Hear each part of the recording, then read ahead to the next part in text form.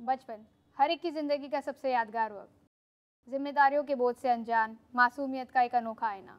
पर जब इस आईने में देखने वाली एक ज़िद हो ज़िद जीतने की ज़िद अपने ज़ख्मों को अपनी ताकत बनाने की तब इस ज़िद से बनती है इंडियन फुटबॉल टीम की कैप्टन आशा लता। स्वागत है आपका हमारे शो द राइजिंग स्टोरी में। फुटबॉल टीम की कैप्टन है आप। यहाँ तक का सफ़र आसान तो हुआ नहीं होगा। फुटबॉल के बारे में हम ज़रूर बात करेंगे लेकिन आपकी फैमिली के बारे में जानना चाहते हैं। First of all thank you very much मुझे इनवाइट करने के लिए और मेरा फुटबॉल जर्नी शेयर करने का मौका देने के लिए। हम लोग पाँच बहन है और एक भाई है और मेरा मम्मी है और पापा नहीं है और दादी और दादू है। सो so, आप एक जॉइंट फैमिली में रहते हैं। जी। जी सो so, फुटबॉल का चस्का कैसे लगा आपको? अ, जब मैं सेवन क्लास में पढ़ी थी तब हमेशा बॉयज़ का फुटबॉल का टीम होता था। इसलिए मैंने हम लोग ने टीचर्स को बोला था कि हमेशा बॉयज़ का टीम क्यों है? गर्ल्स का टीम भी बनाना चाहिए। तो उन्होंने दो टीम डिवाइड करके बनाया था। और मैच भी ड्रॉ हो गया था और पेनाल्टी शूट आउट में रिज़ल्ट डिसाइड करना था। तो मैंने पेनाल्टी भी मारा था और मेरी टीम जीत गए थे। सो so, उस वक्त आपको इस खेल के बारे में जानकारी थी कि कैसे खेलना है टेक्निकली जानकारी तो बिल्कुल नहीं थे क्योंकि मुझे मैंने कभी टीवी में भी नहीं देखा था कि फुटबॉल प्रोफेशनल गेम है और प्रोफेशनल बन सकते हैं।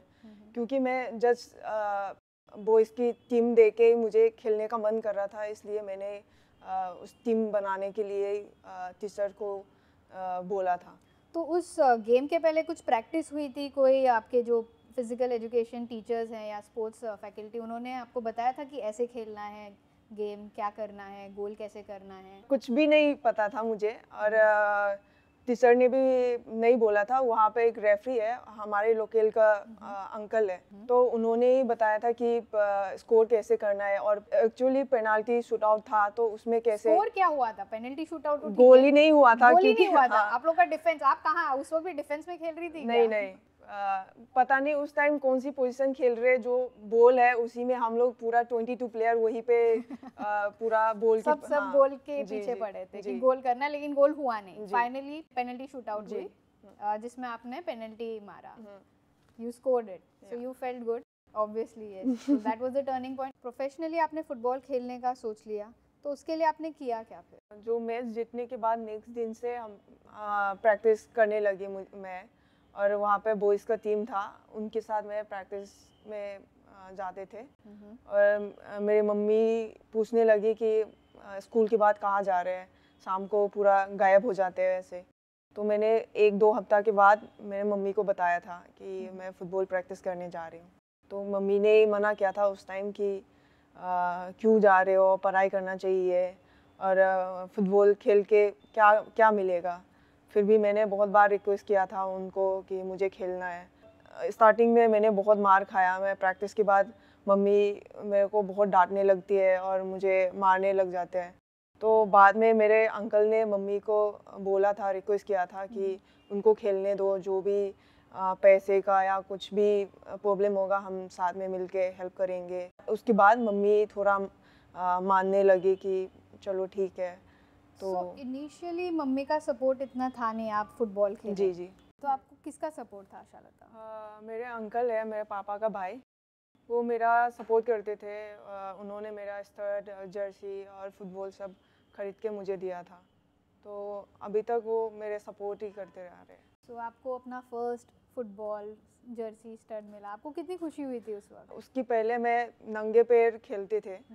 जब स्टड डे के मेरे को बहुत एक्साइटेड हुआ था और बहुत खुशी थी उस दिन में। ठीक है आप फुटबॉल में इंट्रोड्यूस हो गई thanks to your uncle ji. फिर उसके बाद का सफ़र आपका कैसा रहा?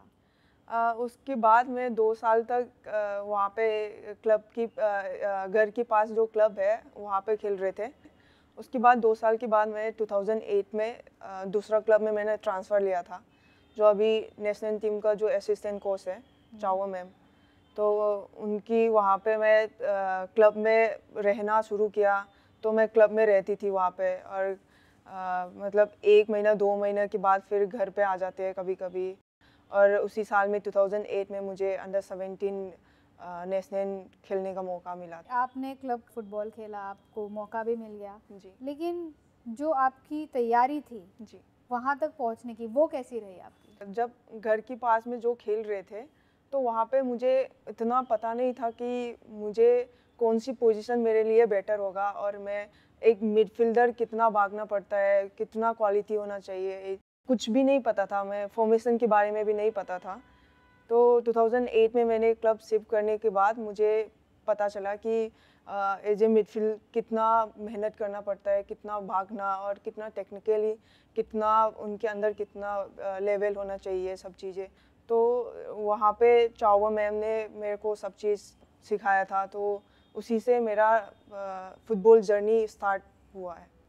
आपने जब डिसाइड कर लिया था तेरह साल की उम्र में कि आपको फुटबॉल खेलना है तो वो ट्रेनिंग आप कैसे करती थी? कहाँ जाती थी आप? घर के पास में ग्राउंड है वहाँ पे जाती थी मैं बॉयज़ के साथ खेलती थी। तभी तो बॉयज़ के साथ खेलने से मुझे जल्दी डेवलप करने का वो हुआ। नहीं तो मैं एज ए गर्ल्स के साथ खेलते रहते तो इतना फिजिकली इतना फिट नहीं होता। तो मेरा सबसे बेस्ट टाइम था कि मैंने स्टार्टिंग में बॉयज़ के साथ शुरू किया। तो ये जब आपने फुटबॉल ट्रेनिंग लेना शुरू करी थी तो वो मणिपुर में ही थी फुटबॉल ट्रेनिंग एकेडमी या कहीं आपको दूर जाना पड़ता था? नहीं मणिपुर में ही थी लेकिन मेरे घर से फोर्टी मिनट का रास्ता था। तो कैसे आप ट्रैवल करती थी हर रोज़? ट्रैवल बस में या ऑटो में जाती थी लेकिन उस टाइम बहुत दिक्कत था। मतलब एक टाइम पे जाते थे एक घंटा के बाद बस जाते हैं और उसके बाद फिर नेक्स्ट बस पूरा पैसेंजर फुल होने के बाद ही हम्म। जाते थे। इसलिए बहुत प्रॉब्लम हुआ था। इसलिए मैंने घर छोड़ के चौबा मैम की क्लब में रहने के लिए बोला था उनको कि मुझे ट्रैवल करने में बहुत प्रॉब्लम हो रहा है। तो उन्होंने हम लोग मेरे घर के पास से तीन चार लड़कियाँ थे तो उनके साथ हम पाँच छः लोग हम साथ में वहाँ पे रहते थे। इवेंचुअली आपने इंडिया को रिप्रेजेंट किया। सो so, क्या आपकी एज थी और वो आप तक न्यूज़ कैसे पहुँची? आप नेशनल टीम के लिए सिलेक्ट हो गए हैं। अंडर सेवेंटीन में मुझे कॉलअप किया था तो मैं बहुत खुशी थी बहुत एक्साइटेड हुआ था कि आ, बहुत मेहनत करने के बाद ही हर कोई प्लेयर मिलता है वो अपॉर्चुनिटी और आ, मैंने भी बहुत मेहनत किया और जो आ, मेरे को बताया था कि क्लब का मेंबर ने कि तेरे को पेपर पेपर देख लो और तेरे नाम आया है। तो हम्म। मैं पेपर देखा तो मैं मेरे नाम था उसमें और मैं बहुत एक्साइटेड था। सो so, आपकी फ़र्स्ट मैच यादगार हो गया आपके लिए इंटरनेशनल इंडिया को रिप्रेजेंट कर रही थी आप। तो किसके अगेंस्ट थी और कहाँ थी? चाइनीज़ ताइपे के साथ था मलेशिया में एएफसी अंडर 17 क्वालीफाई राउंड तो आपने जो फ़र्स्ट इंटरनेशनल मैच खेली जी। वो मलेशिया में खेली थी। आप फ़र्स्ट टाइम इंडिया के बाहर गई होंगी। जी। कैसी फीलिंग थी वो? फ़र्स्ट टाइम इंटरनेशनल ट्रैवल कर रहे हैं आप प्लेन में पूरी टीम के साथ? इंडिया को रिप्रेजेंट कर रहे हैं। हम लोग दस प्लेयर थे मणिपुर से और दस प्लेयर से हम लोग सात प्लेयर एक साथ खेलने का मौका भी मिला था। सो so, हमारी जो टीम है नॉर्थ ईस्ट में तो एक रिलीजन माना जाता है फुटबॉल को। सो so, आप जैसे बोल रही है कि सात लोग एक साथ खेल रहे थे तो almost seventy eighty percent team तो हम्म। मणिपुर की हो गई नॉर्थ ईस्ट की हो गई। तो ज़्यादातर लड़कियाँ कहाँ की होती हैं फुटबॉल टीम में? आ, अभी तक तो मेरे हिसाब से मणिपुर की होती है। सेवेंटी परसेंट एटी परसेंट तो मणिपुर के होती है। उसके अलावा कोई आ, उसके अलावा दिल्ली का उड़ीसा और बेंगलोर। सो so, आपकी जो डेब्यूट मैच हुई थी उसके बारे में आप कुछ बताएँगे? आपकी कैसा वो मैच रहा? क्या स्कोर हुआ? आपने कौन से पोजीशन पे खेली थी? हाँ स्कोर टू वन था हम्म। और हम लोग हार गए थे और मैच और मैं डिफेंडर खेल रही थी उस टाइम so, बुरा लगा डेब्यू मैच थी हार गए? बुरा तो लगा कि वो क्वालिफाई करेगा तो हम लोग सेकेंड राउंड क्वालिफाई करना था तो वो मैच भी हार गया इसलिए क्वालिफाई नहीं कर पाया था। आपकी जो सीनियर्स के लिए आपने जो फ़र्स्ट मैच खेली थी वो कहाँ और किसके अगेंस्ट खेली थी? नेदरलैंड के साथ मैंने फ्रेंडली मैच मेरा फ़र्स्ट सीनियर टीम में खेला था। तो वो इंडिया में हुआ था नाबी मुंबई में। ओह तो दो मैच खेला था। फ़र्स्ट मैच में हम लोग हार गए थे और सेकेंड मैच में हम लोग वन ज़ीरो जीत गए थे। और वो स्कोर मैंने किया था फ्री किक में। फ्री किक में आपने स्कोर किया जी। सो so, कैसा लगा? आपका सेलिब्रेशन कैसा था उस वक्त? और uh, मुझे बेस्ट प्लेयर भी मिला था उस मैच में। और मैं बहुत खुश थी। मैंने स्कोर करके मुझे हमारा टीम जिताया तो मैं बहुत खुश थी। सो so, ये हो गई आपकी इंटरनेशनल मैचेस कोई ऐसी मैच जो आपको यादगार रहे? कभी क्राउड आया कभी ग्राउंड पे? ज़्यादातर आप लोगों को आदत है एक uh, खाली स्टेडियम में खेलने की। साफ़ चैम्पियनशिप इस साल में मार्च में हुआ था। उसमें हमारा जो सेमीफाइनल मैच बांग्लादेश के साथ था। ये कहाँ हो रहा था आ, नेपाल में। नेपाल में हो रहा तो नेपाल का क्राउड बहुत ज़्यादा है वहाँ पे। चैंपियनशिप हम लोग पूरा स्टेडियम में नहीं खेल रहे थे। वो एक ग्राउंड था। ग्राउंड क्राउड की बहुत पास में थे। बहुत शोर मचा रहे थे बहुत चिल्ला रहे थे ऐसे हुआ था। और जो वहाँ पे नेपाल का जो क्राउड है वो पूरा बांग्लादेश की सपोर्ट में थे। वो क्यों? नेपाल का क्राउड बांग्लादेश को क्यों क्योंकि डिसाइड हो गया कि नेपाल नेपाल फाइनल पहुँच गए थे। Okay okay. और आ, ये बांग्लादेश और हमारे मैच में डिसाइड करना था कि कौन फाइनल पहुंचेगा। तो शायद वो लोग नहीं चाहते होंगे हमारे साथ खेलने के लिए। तो इसलिए उन्होंने पूरा बांग्लादेश में सपोर्ट किया था। मैच तो हम लोग जीत गए थे और फाइनल नेपाल के साथ था। तो फाइनल में मुझे जो लाइन अप कर रहे थे मेरे को बहुत परेशान हो रहे थे।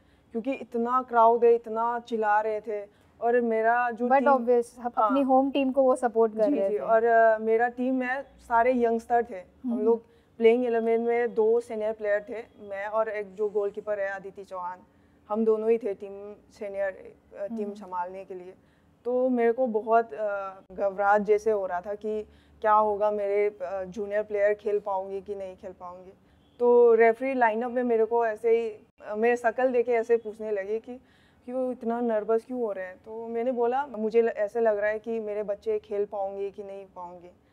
तो फिर हम लोग ने थ्री वन में मैच जीता था। तो ऐसे आपने अपने जो जूनियर्स है आपके बच्चे लोग थे उनको क्या बोला? मैंने उनको एक ही चीज़ बोला था उन लोग अंदर अंदर थर्टीन से इंडिया टीम रिप्रेजेंट कर रहे थे। हम्म, हम्म। तो मैंने वही चीज़ बोला कि हम लोग इंडिया के अंदर जो खेलते हैं क्राउड के सामने तो ये सोच लेना कि जो नेपाल की क्राउड है हमारी टीम को सपोर्ट कर रहे हैं। तो उन क्राउड को ध्यान मत दो अपने गेम में फोकस करो। ये चीज़ तो मैंने बोल दिया पर मेरे को ऐसे लग रहा था कि क्या होगा? उन्होंने ऐसे खेल के दिखाया ना तो मुझे बहुत खुश हुआ था कि हम लोग जिस दिन रिटायर भी हो भी गया तो हमारे जो यंगस्टर है वो आराम से एक इंडिया टीम को हैंडल कर हाँ, लेके जाएँगे फ्यूचर में। आप एक टीम में आप बड़ी एल्डर सिस्टर की तरह है। अगर कभी कोई चोट लग जाती है किसी को ऑन द फ़ील्ड तो आपका रिएक्शन कैसे रहता है? आप कितनी पजेसिव हैं उनके बारे में? वो चीज़ में मुझे मेरे फीजो मेरे को भगाते हैं और जो आ, क्या बोलते हैं किसी कोई कहीं भी मतलब स्ट्राइकर जगह पे भी और मिडफील्ड जगह में भी किसी को जब इंजरी होते हैं तो मैं वहाँ पे भाग के जाती थी कि क्या हुआ ये तो फिजो मेरे को बोलते हैं कि यार मुझे तो देखने दो तुम थोड़ा साइड हो जाओ। अदिति मेरे को हमेशा बोलती है कि तुम साइड हो जाओ ना क्यों? पागलों की तरह वहाँ पे घुस जाते हो ऐसे करके मेरे को बोलते हैं कि मुझे ऐसे फील होता है कि यार उनको मेरे बच्चे को कैसे ज़्यादा लगा है कि क्या हुआ? तो इसलिए मैं हर जगह पे किसी का इंजरी होता है तो वहाँ पे ही पहले पहुँच जाती हूँ। सो so, जीत के बाद ड्रेसिंग रूम का क्या माहौल रहता है? कौन सबसे ज़्यादा मस्ती करता है? जीतने के बाद सब लोग बहुत एक्साइटेड होते हैं बहुत खुश हो जाते हैं। गाना चला के डांस करना शुरू हो जाता है। और सबसे एक यंग प्लेयर है पंजाब की। मनीषा करके उनको ही पहले नाचने के लिए बोलते हो और वो शुरू हो जाते हैं। So तो जी। So, आप आप नाचती नहीं है? नहीं मेरे को डांस नहीं आता बिल्कुल। तो इसलिए तो लड़कियाँ खींचती नहीं आपको बहुत बार खींचते हैं लेकिन मैं मना करती हूँ या कभी कभी ऐसे ही करते हैं बस मैं छोड़ देती हूँ।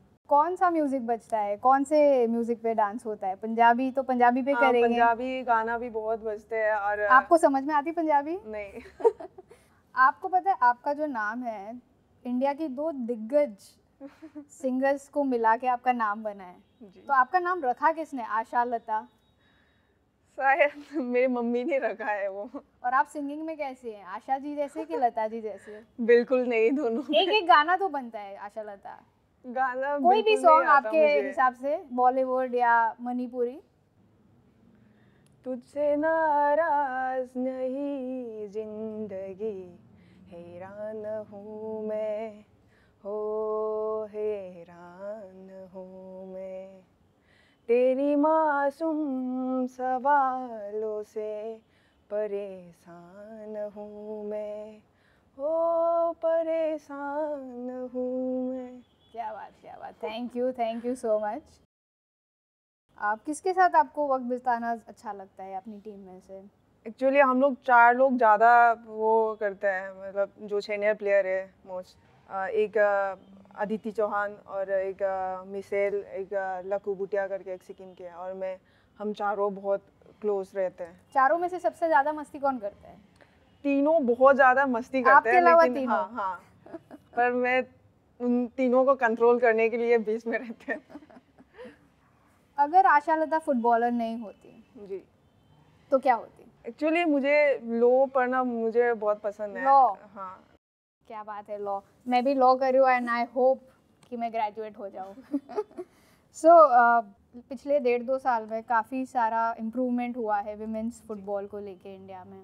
सो ग्रास रूट लेवल पे और क्या करना चाहिए कि और आगे फुटबॉल को बढ़ावा मिले? मेरे हिसाब से जो क्लब्स है इंडिया में जितना भी फुटबॉल का तो उन लोग अपना ग्रास रूट लेवल में थोड़ा फोकस करेगा तो बेटर रहेगा। Next year under 17 world cup India host कर रहे हैं। तो मेरे तरफ़ से आप आप सभी को रिक्वेस्ट है कि अंडर 17 वीमेंस टीम को सपोर्ट कीजिए और वो इतना अ, अ, कम एज में वो लोग इंडिया रिप्रेजेंट करने जा रहे हैं। तो आप लोग का सपोर्ट की बहुत ज़रूरी है। अभी से उन लोगों को मोटिवेट करेगा तो और अच्छा प्लेयर बन सकते हैं। आशा लता 2018 में आपको कैप्टन से मिली 2018-19 में women's footballer of the year AIFF के द्वारा।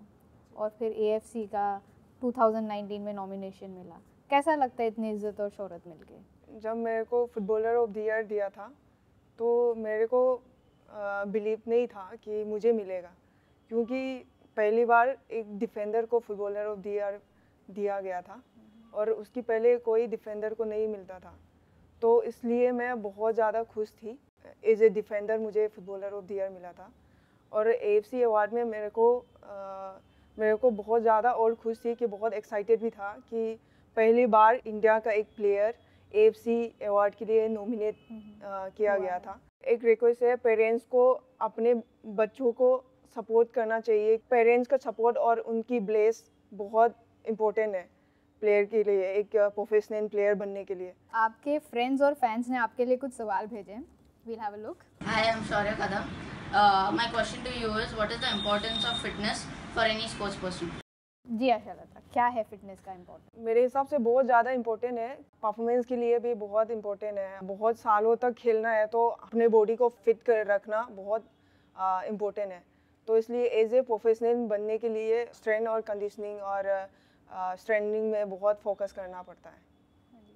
चलिए एक और सवाल देखते हैं। First of all congratulation for reaching this far in Indian football I would like to know what are the sacrifice that you have to make reach this far in Indian football बहुत ही अच्छा सवाल है। बचपन से भी हम पूरा टाइम निकाल के uh, प्रैक्टिस और स्टैंडिंग में फोकस करके आ रहे हैं।